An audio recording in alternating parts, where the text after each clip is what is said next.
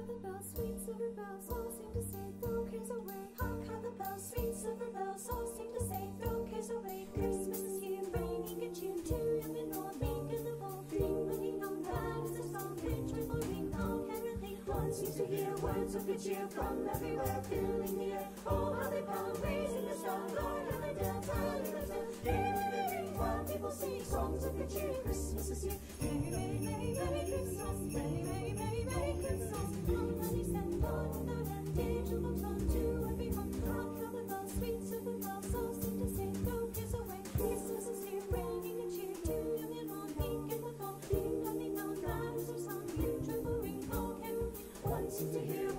the cheer from everywhere, filling the air. Oh, how they come raising the sound, glory in the delta, in the town. Hear the ringing while people sing songs of the cheer. Christmas is here. Many, many, many, many, many, many, many, many,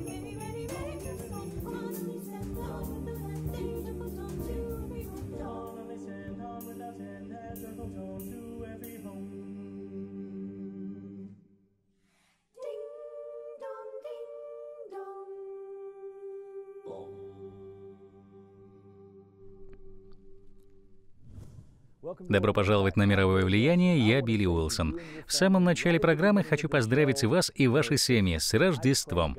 Молюсь о величайших Божьих благословениях для вашей семьи в этом году. Сегодня мы находимся в центре выпускников имени Арманда Хаммера в кампусе университета Орла Робертса. Мы украсили центр к Рождеству, и наши студенты празднуют рождение Иисуса. Поговорим о том, какие перемены несет Рождество. Я назвал это учение «Контрасты Рождества». Рассмотрим пять контрастов с самого начала истории Рождества мы можем увидеть перемены, которые принес Иисус, просто читая о том, что говорит Бог о его рождении в этот мир. Дело в том, что сегодня Рождество окутано множеством оберток и упаковок. Когда вы начнете докапываться до сути, вороша свертки с бумагой, и достанете самую суть Рождества, вы найдете хлев, найдете младенца, найдете сына живого Бога, который родился от Девы Марии и принес небеса на землю. В это Рождество я молюсь, чтобы, копаясь в ворохе оберток, вы размышляли о том, что Бог сделал для нас. Вы вновь откроете в своей жизни силу Иисуса и узнаете, что Царство Божие принесло главные перемены. Одна из моих любимых рождественских песен «Тихая ночь». Однако в оригинале это французская песня под названием «Полночь Рождества», написанная в 1843 году. Сегодня одна из студенток университета, мисс Рэйчел Дью, одна из моих любимых певиц в мире, споет современную версию песни «Тихая ночь». Полночь, христиане, — это торжественное время, когда Бог сошел к нам как человек, чтобы стереть пятно первородного греха и положить конец гневу своего Отца.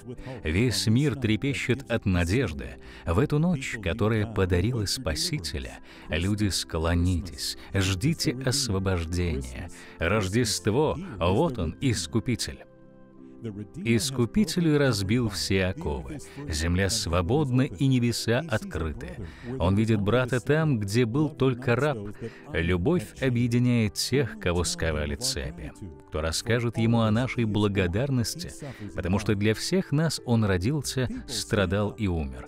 Люди, встаньте, пойте о своем освобождении. Рождество, Рождество, пойте об Искупителе.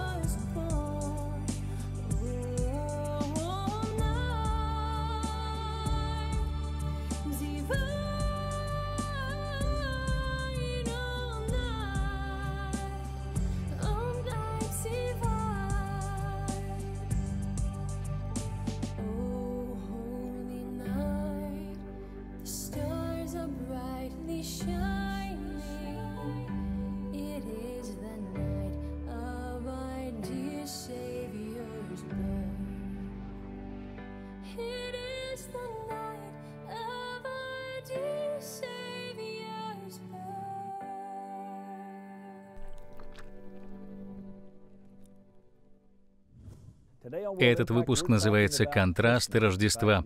Сегодня мы размышляем, какие перемены оно несет, какие перемены Иисус принес в нашу жизнь.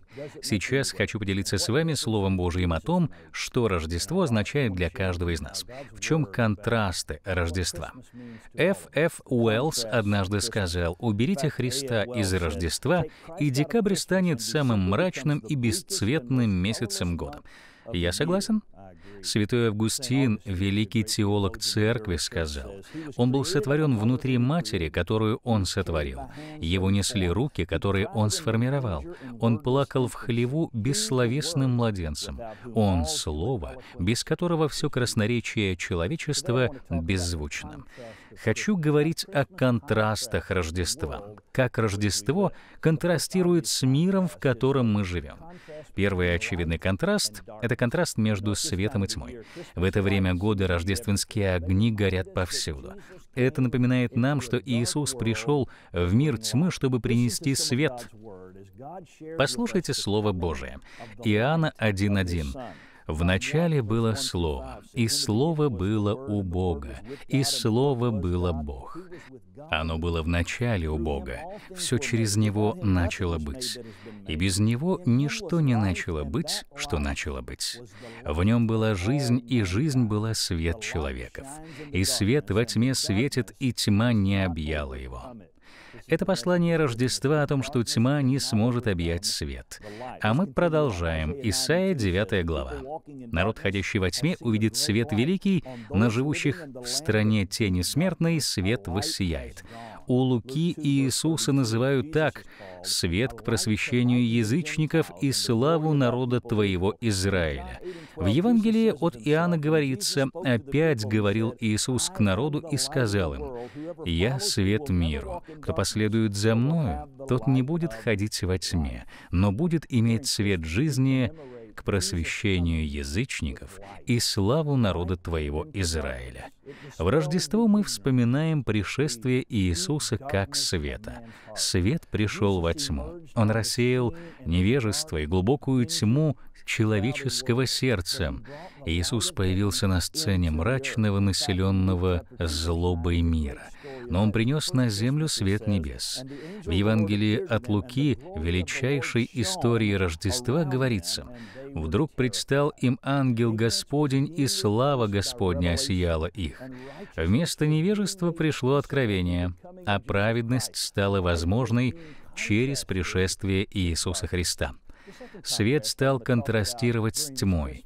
Второй контраст, о котором я хочу поговорить в эту рождественскую пору, это контраст между хаосом и миром.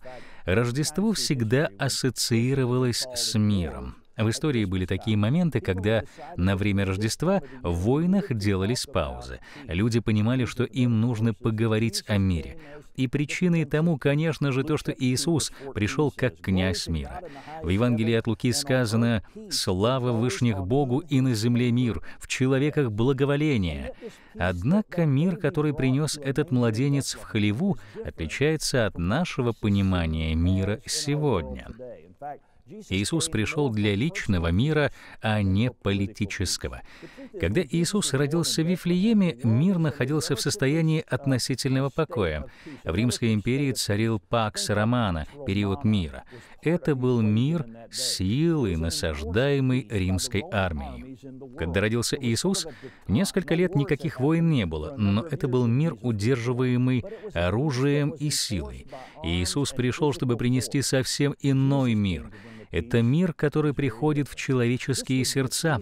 Вражду между Богом и человеком можно было устранить через Иисуса Христа. Другими словами, теперь мы могли иметь мир с Богом. Хочу сказать вам в эту пору Рождества, когда у вас мир с Богом, вы можете быть в мире с остальным миром. Человечество борется не само с собой, оно борется с Богом. Однако Писание говорит, когда мы оправданы, когда мы верим в то, что Иисус совершил на Голговском кресте, мы обретаем мир с Богом в своем сердце. Иисус сказал об этом так: "Мир оставляю вам, мир мой даю вам, не так, как мир дает, я даю вам. Да не смущается сердце ваше и да не устрашается". В эту рождественскую пору мы можем увидеть контраст между хаосом и миром. Третий контраст, о котором я хочу сегодня сказать, это контраст между эгоизмом и любовью. Возможно, в Рождество этот контраст виден сильнее остальных. Во многих случаях противоположность любви — не ненависть. Чаще всего противоположность любви — эгоизм. Иисус пришел показать людям, как сильно их любит Бог, отдав нам самое лучшее. Когда сатана взбунтовался против Бога, он говорил «Я, я, я», превознося самого себя. Но Иисус пришел не от себя, Он нес любовь Бога с небес. Любовь демонстрируется всем нам через даяние. Время Рождества — это время давать, время любить, время делиться. Чаще всего тот, кто в отношениях дает больше всего и любит больше всего.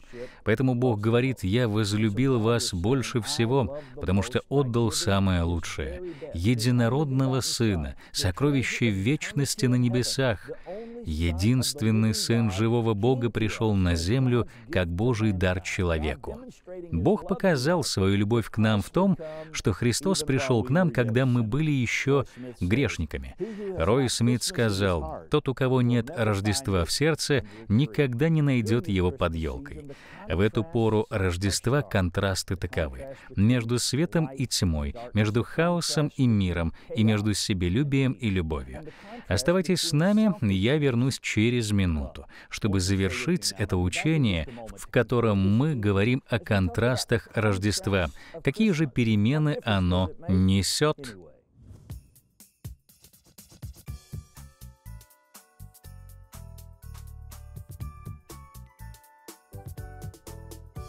Я выбрала ORU по ряду причин. Онлайн-программа в ORU является настолько гибкой, что она никак не влияет на повседневную жизнь человека.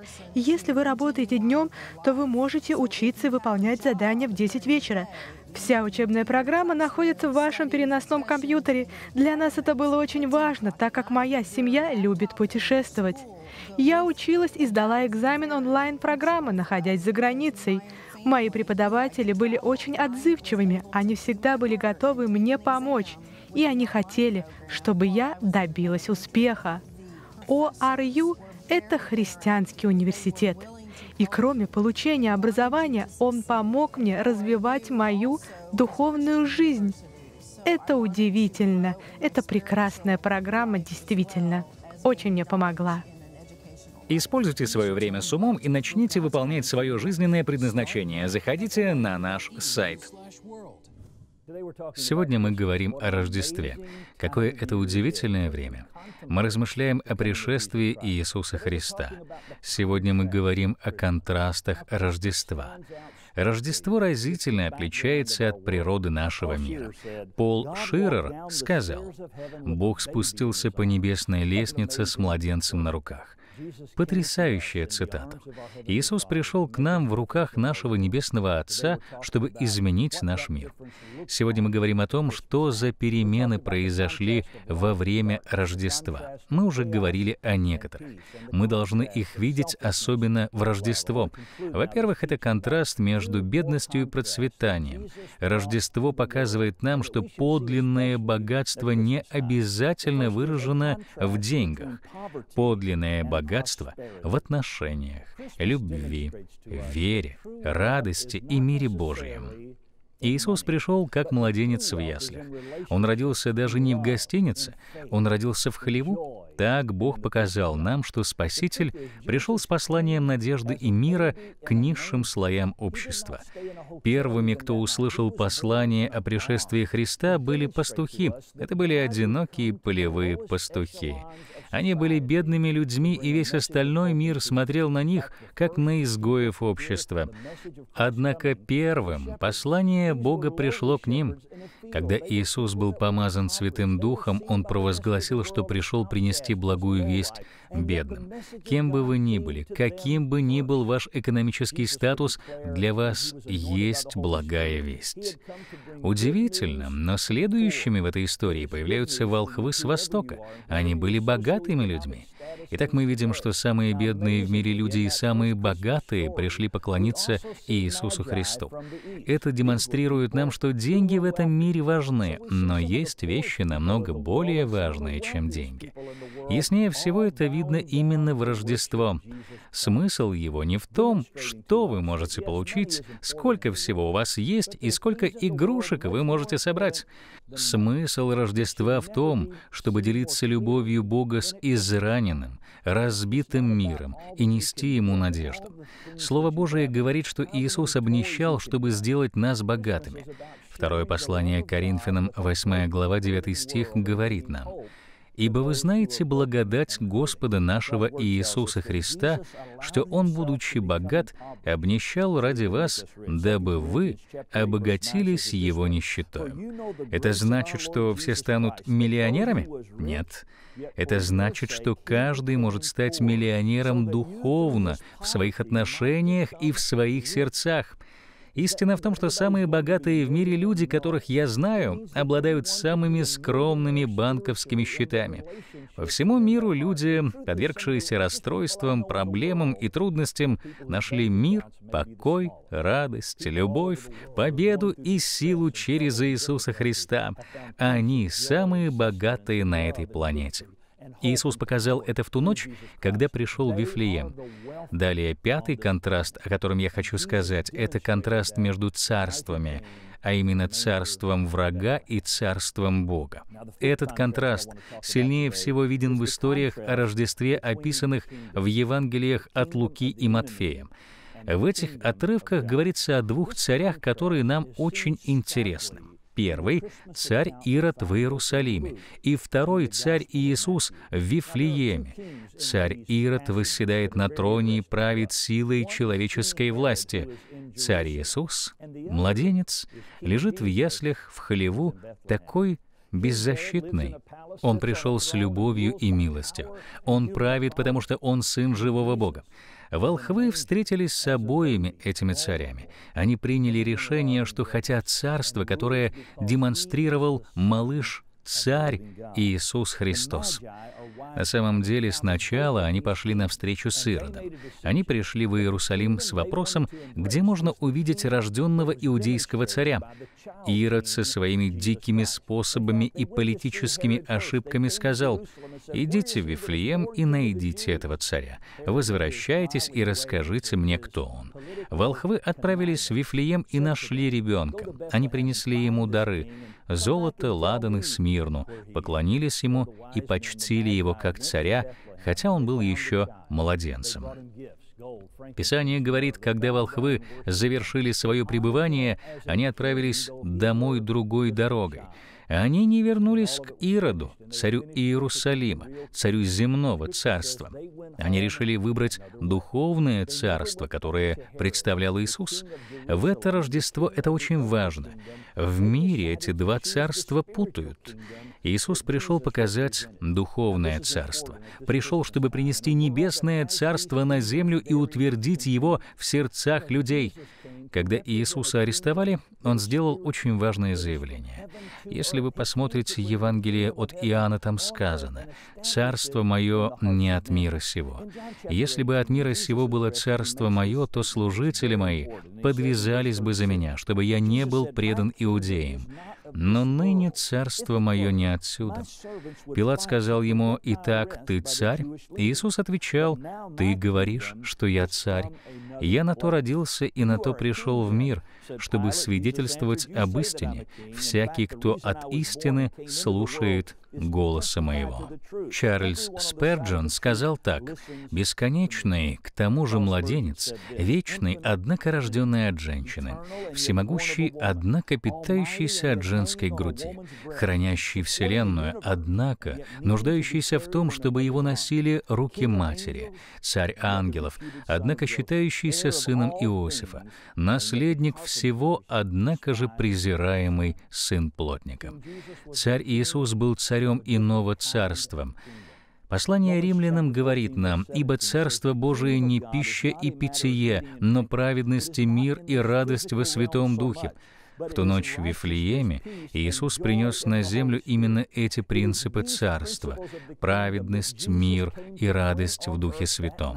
В это Рождество нам нужно сделать выбор. У нас есть выбор между царями и силами этого царства, которые правят властью и запугиванием. Либо мы можем выбрать царя Иисуса, он правит нашими сердцами силой Божией и Духом Святым. Я хочу выбрать Его. Его царство будет длиться вечно.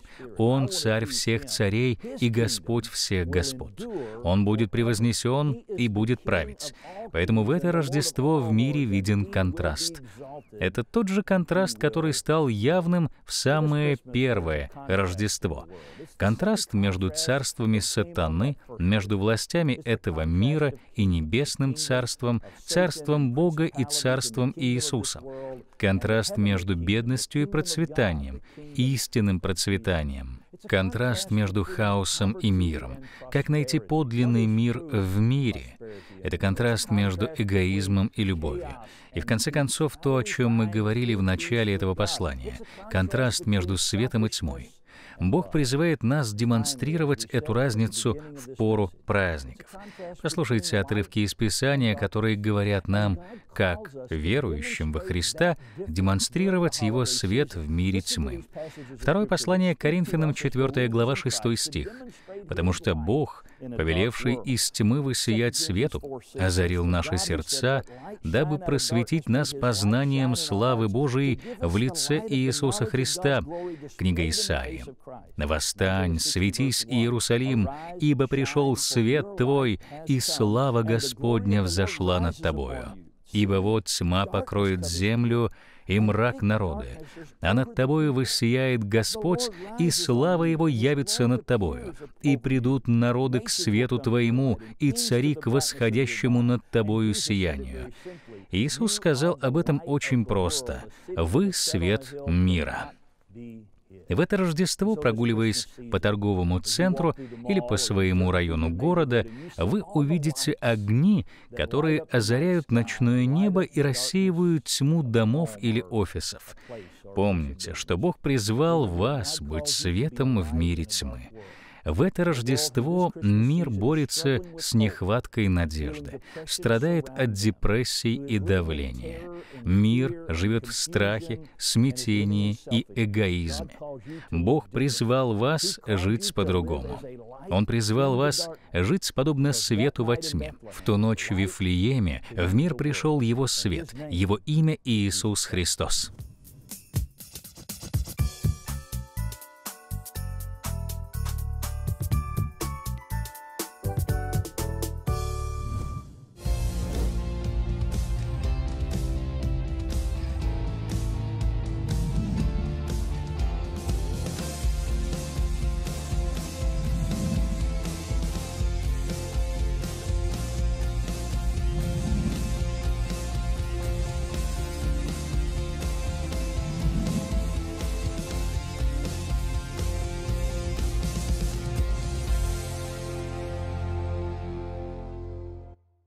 Все в Израиле должно измениться.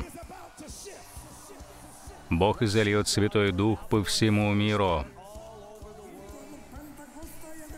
Настало время Пятидесятницы. На небе счастье, там свобода, мир. Хотите пребывания Бога в жизни и в своем служении? Это клич о свободе. Церковь помазана Богом, она действует — и это дар Бога. Мы — церковь Иисуса Христа. Не нужно рушить стены, проходи через них. Я могу все благодаря тому, кто дает мне силы. Поклоняйся и молись. Не бойся за будущее, ведь мы народ Бога. На нас сошел огонь Святого Духа. Он изменит мир.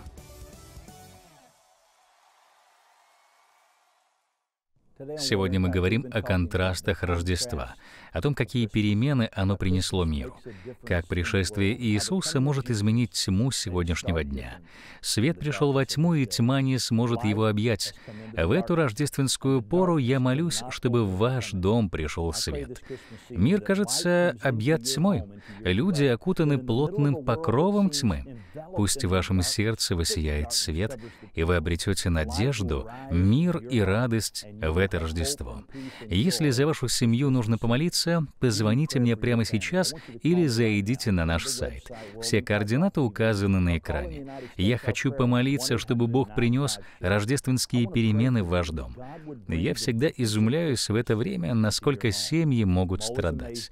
Вы тоже встречаете эту пору праздников с болью в сердце, и вам интересно, какие же перемены все-таки несет Рождество, оно меняет все. Позвоните мне. Расскажите свою историю. Расскажите, что происходит в вашей семье и в вашем сердце.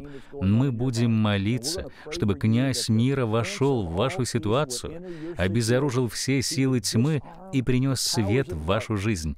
Пришло новое царство, царство праведности, мира и радости в Духе Святом. Почему? Потому что у нас новый царь, и его имя Иисус, Сын живого Бога. Хочу поздравить с Рождеством вас и вашу семью. Вся наша программа и университет Орла Робертса молятся о богатейших благословениях Божиих для вас сегодня. Не забудьте заглянуть на сайт программы «Мировое влияние» или звоните мне прямо сейчас, чтобы Бог послужил вашему сердцу. В этом году будет ваше лучшее Рождество, потому что вы сблизитесь с Царем Царей. Вы смотрели программу «Мировое влияние» с доктором Билли Уилсоном, президентом университета Орла Робертса, всемирно известного христианского университета в Талсе, штат Оклахома. Узнайте на нашем сайте, как получить диплом по одной из 65 профильных дисциплин в онлайн-режиме или стационарно. Наш университет гордится тем, что поддерживает движение духа по всему миру через Конгресс Empowered 21. Получите более подробную информацию об этом и других запланированных мероприятиях на веб-сайте, который указан на ваших экранах. Также вы можете попросить нас о молитве, поддержать это всемирное служение или поделиться своим свидетельством по телефону, который сейчас на ваших экранах.